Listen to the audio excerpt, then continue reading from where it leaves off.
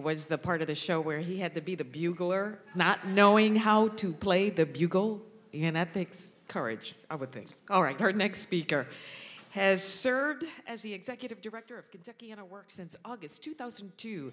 During his tenure, Kentuckiana Works has established a set of one stop career centers on the campuses of the local community college, become the nation's first workforce investment board to run a college access center and created a strong youth program serving high school dropouts.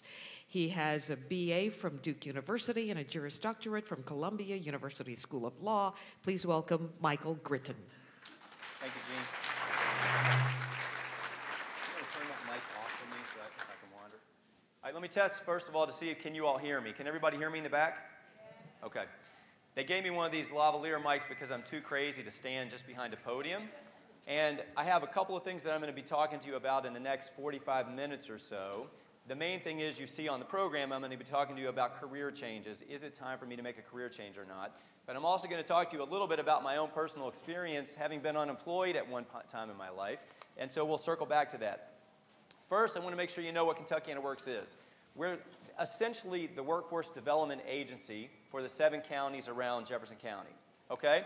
We get federal money to be able to run one-stop career centers, which I'll tell you a little bit more about, but in a nutshell can help anybody sort of do the basic resume preparation, am I looking for jobs in all the right places, that sort of thing. We have a table out in that room that anytime today, if you want to go talk to somebody from those one-stop career centers, they're outside. Okay? We get money to run programs for young people that have dropped out of high school. We get money to run uh, something called the Kentuckiana College Access Center, which is also at that table, which helps a lot of people who are interested in going back to school or who want a little bit more intensive career counseling help, right? And so we're very grateful to Congressman Yarmuth and the others in Congress who help fund those programs because they're important. And one of the reasons why I'm here to talk about career changes is because some of the money we get can help a person who's been laid off from a job go back to school particularly if they're going back into a field that we think is, is going to grow, is either growing now or going to grow in the next couple of years. So that's why I'm sort of, if not an expert, at least I know something about career changes, okay? Um, but before I get into that, I want to talk just a little bit about what just happened in this economy in the last couple of years. Because uh, I think all of you know it, and we know it, but this was the biggest economic downturn that our country has seen since the Great Depression.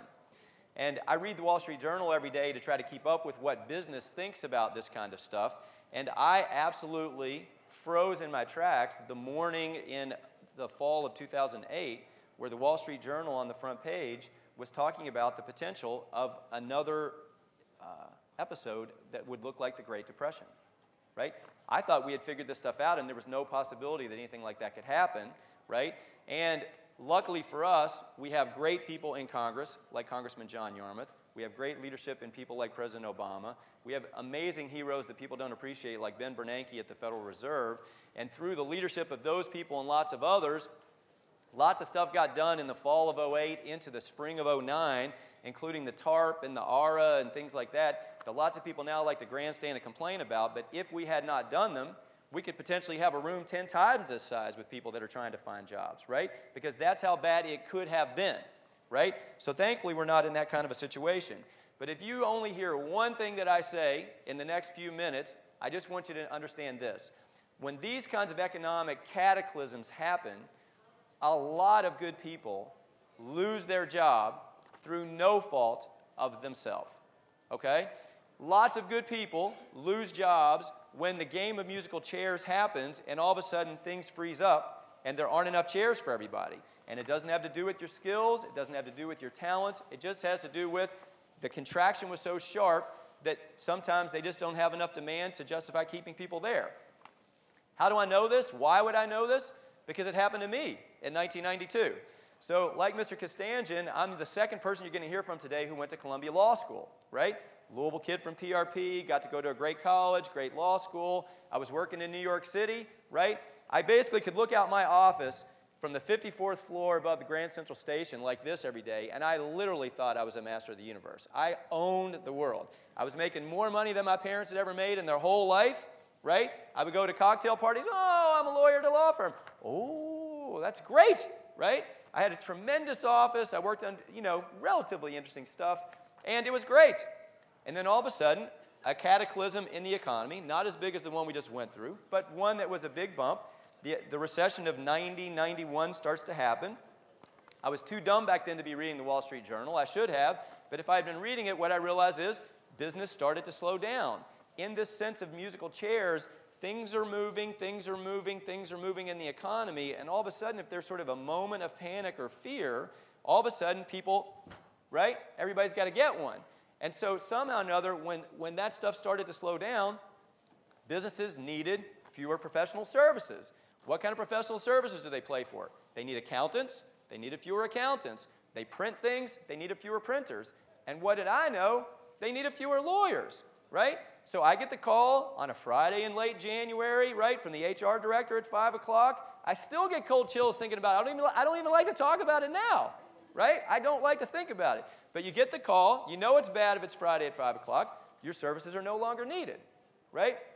So this was not particularly in my remarks, but what I realized out in the hallway is I've met a half a dozen people in this room that I know personally who I know are talented, who have degrees, who have experience, who are bright people that I would be happy to have on my team if I had openings. So, one thing I just want to make sure you understand is sometimes this isn't about you, and you can't take it personally, right? I still get butterflies in my stomach thinking about that happening to me years ago. Then I remember that I, I had moved to a new city, I moved to Boston. I was trying to look for jobs, and I remember this was before the internet, right? This was 93. But I remember sending out my resume, and I'm thinking, this is a good resume, right? So anybody that gets this resume would want to hire me. And then you would wait and wait. I remember getting a weather beaten postcard that looked like the postman had stepped on before it came to me to say, We've received your resume. If we're interested, we'll let you know, right? And so I know in my bones that a lot of you are going through something like that right now. And so I just want to be clear that most of the rest of today's program is organized to try to help you make the very best job search that you can. Because part of this has to do with the economy improving. And that's why what Congressman Yarmuth said at the beginning is so important.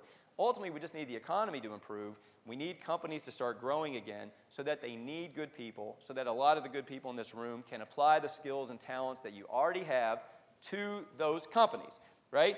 And so if you go through today and you think to yourself, I don't need to make a career change, I'm on the right track, all that kind of stuff, the rest of the day is organized for you around that, okay? But the reason I want to talk to you about career changes is sometimes that moment is a moment for you to think about is this really what I want to do, right? And it's also a moment to ask, is this something that I'm actually really good at? And it's also a moment to ask, is this something that I have passion for? because you heard Bill talk about passion before, right? And it turns out that all three of those things are sort of interconnected in your thinking process about what am I going to do and, and, uh, and how's this going to work. Now, just think for another minute. In America, when you get knocked down, what are you taught to do? Get back up, right? If you fall off that horse, get back on, right? That's what we're taught. If at first you don't succeed, try, try again. Our culture is very much about getting up and trying again. And again, at the end of the day, you all may decide that's all I need to do. I got knocked down and I'm going to get back and do something else. But you see me up here today talking to you not as a lawyer who got laid off as a lawyer and went back to being a lawyer, but as a person who decided I wanted to go off and do something else. Because part of the conversation I had with myself back in 93 is I didn't really like that stuff that much. I liked the money, but I didn't like much else about it, right?